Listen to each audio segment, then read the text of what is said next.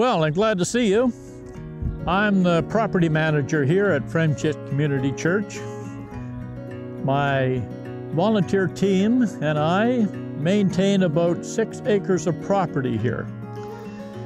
Those of you who are my age remember going to school and remember your three R's reading, writing, and arithmetic.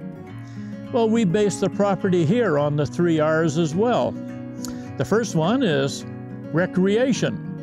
And our young people use this for war games, for battle games, for catch the flag, you name it. They're running all around this property having a great time.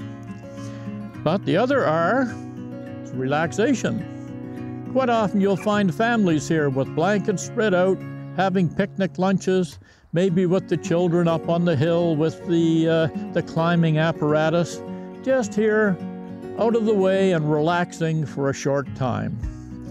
And then the third R is reflection. Down in the creek area, we call it the prayer walk, there's the opportunity for you to sit on a park bench, maybe meditate, read the Bible, just uh, think about God and how good He is to you, and reflect on all the wonderful things that He has provided for you.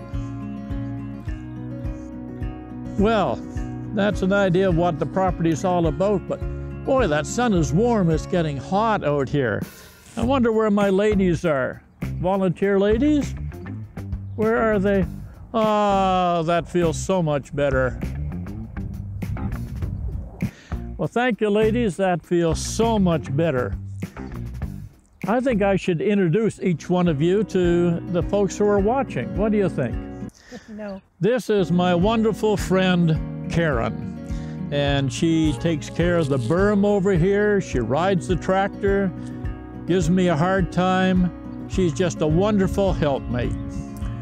And this young fella here coming to get on the tractor, this is my friend Jim. If there's any grunt jobs around here that have to be done, he's the man to do it. He lives his life on the end of a gas trimmer and he's just a real hard-working soul, and I'm so glad to have him.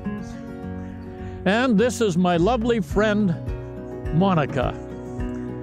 She is the wife of Jim, and she does a lot of the flowers, a lot of the flower beds you see that she has spent time on her knees, not praying, but picking weeds. And we're very appreciative of all the work that she does. Mind you, she leaves things all over the property, sunglasses and spades. When she's gone, I do a little treasure hunt each day. Okay, this is enough sitting around. I think we better get finished off. See, it's getting cloudy. Okay, off we go.